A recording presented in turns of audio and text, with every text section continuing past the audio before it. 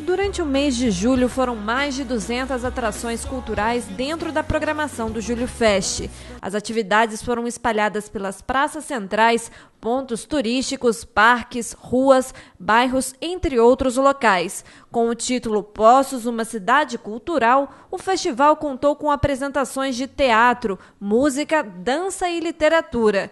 Para fazer um balanço das atrações, foi realizada uma reunião promovida pela Secretaria de Turismo, que apontou os pontos positivos e os que precisam ser melhorados para 2015. Os artistas que se apresentaram levando sua arte ao público.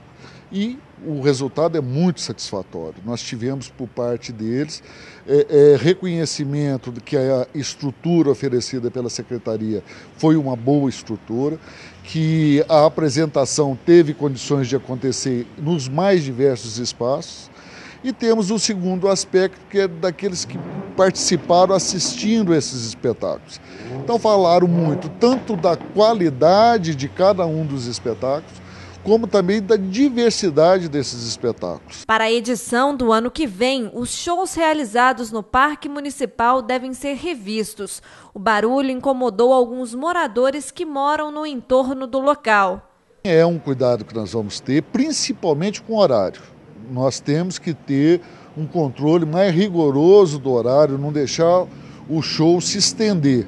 Nós não chegamos a passar de meia-noite ou chegar perto de meia-noite, mas nós temos que reduzir um pouco, trabalhar até o limite de 22 horas. E procurar é, é, ser mais cuidadoso ainda, porque às 18 horas nós modulamos o som com 40% abaixo daquilo que estava sendo praticado durante o dia.